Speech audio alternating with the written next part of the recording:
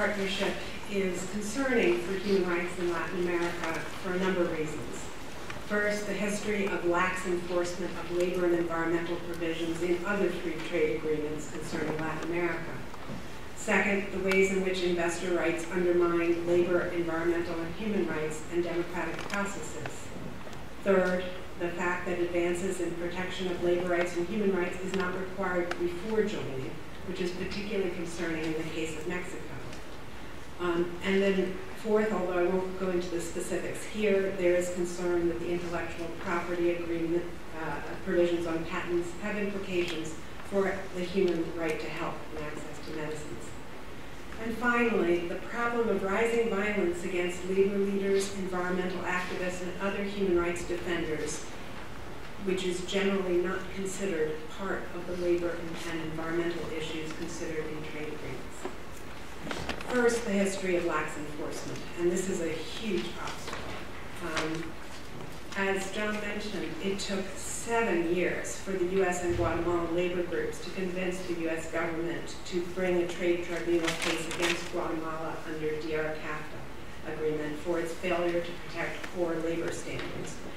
During the time period from the time the petition was filed until the U.S. government finally acted, 68, uh, no, excuse me, 62 trade unionists were killed in Guatemala.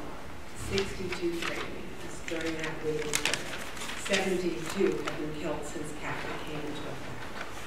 Guatemala fails to protect freedom of association and collective bargaining by inadequate labor inspections, obstacles to registering unions, failure to ensure compliance with court order, orders, and the failure to effectively investigate and prosecute threats and attacks against trade unionists.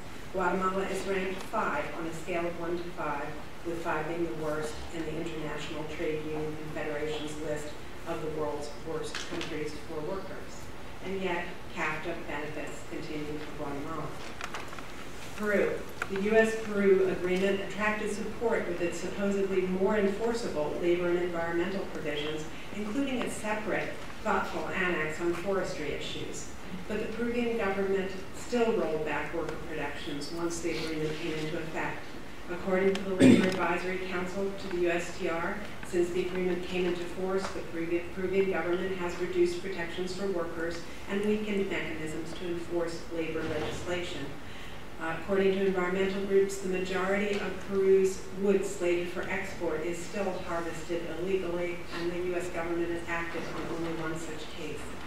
The U.S. government is re reluctant to act to address violations of labor and environmental clauses, including the forestry annex, even though these were heralded as important advances in protecting labor and environmental rights. Colombia. The U.S.-Colombia Labor Action Plan, signed in 2011, is not part of the Free Trade Agreement, nor enforceable, but a separate agreement signed prior to the passage of the FTA. Unfortunately, the U.S. government did not require Colombia to comply with the Labor Action Plan fully prior to approval of the FTA. The Labor Action Plan does cover many of the right issues, and it has had some impact. Um, for example, creating institutions to um, protect labor rights and reducing the still extremely serious problem of anti-union violence and impunity for such attacks. But this violence and many other violations remain serious obstacles to freedom of association in Colombia. The joint complaint filed by, the, by U.S. and Colombian unions in May 2016, five years after the Labor Action Plan was signed, highlights continued failures to address violence against trade unions, among other things. There were 99 murders and 955 threats registered between the time the agreement came into effect and April 19, 2016, in, according to the National Labor School. Colombia remains the country with the highest number of murders of trade unionists in the world in 2015, with 20 trade unionists assassinated, according to the International Confederation of Trade Unions. There's also violent repression of strikes and protests by state security forces, new forms of subcontracting, which have been one of the major issues of the Labor, labor Action Plan, um, and these forms of subcontracting intend to obscure the direct employment relationship between a company and its workers, and thus skirting labor laws. And there's also the failure to sanction companies effectively for violations of worker rights. The Labor Action Plan remains an important blueprint for change. We welcome the efforts by members of the U.S. Congress, including the two members who sponsored this briefing, to press for compliance, which is one reason it's had some traction, but its promises still remain largely unfulfilled. The second major problem of the TPP for Latin America is the lack of preconditioning, uh, preconditions for joining. I really agree with John that, that, that, the moment you have to encourage progress on all kinds of issues is actually before the agreement is, enters into force. We could definitely see that in the Colombia case. Um, and now, neither Mexico nor Peru would be in compliance with core labor standards prior to joining the TPP. And unlike the cases of Vietnam, Malaysia, and Brunei, there are not even consistency plans or anything else provided to encourage compliance with key issues. Mexico is especially concerning on labor rights and human rights fronts. On labor rights, the Mexican government is far from consistently protecting worker rights.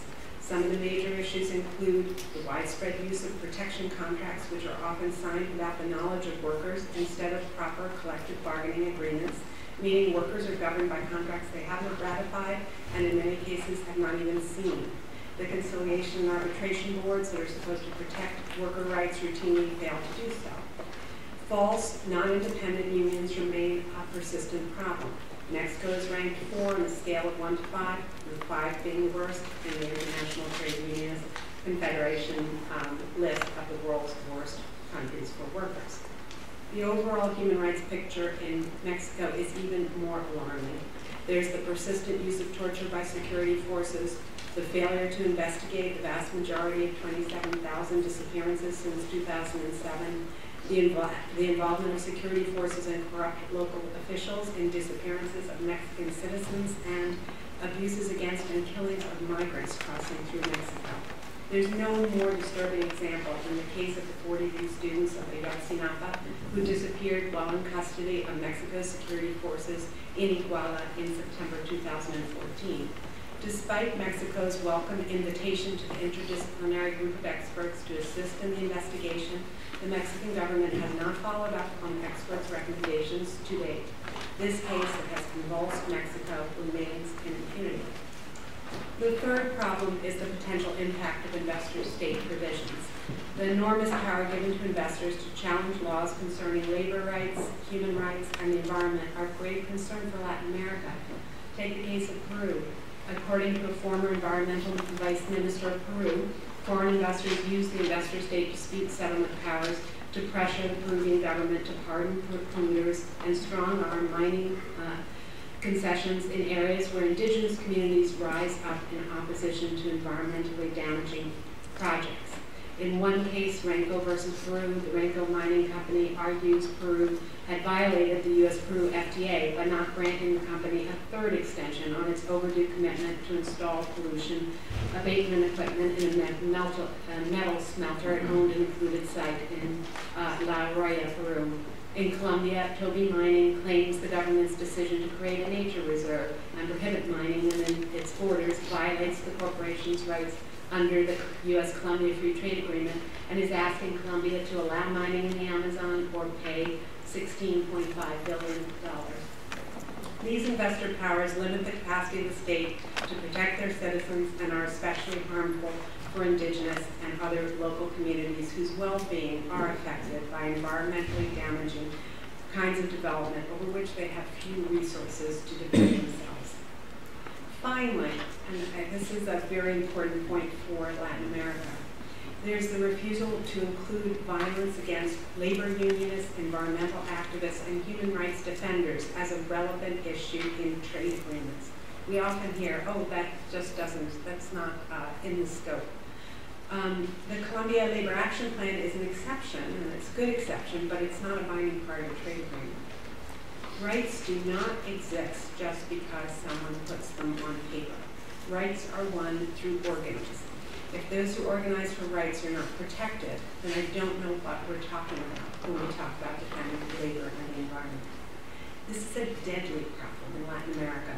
Let's look at trade unions. Of the six countries worldwide singled out by the International Trade Union Confederation for most concerning issues of violence against trade unionists in 2015, three are in Latin America, Colombia, Guatemala, Honduras.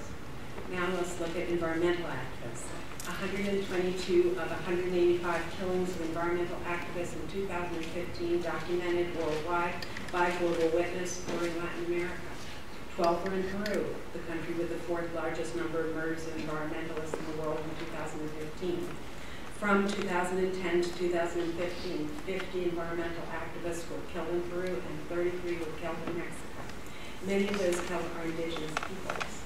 Um, threats and attacks against environmental activists are increasing in Latin America, and this is one of the most concerning human rights challenges facing the region today. The TPP, as it stands, does nothing to protect such activists, and indeed, through the investor provisions, undermines their strength. Thank you.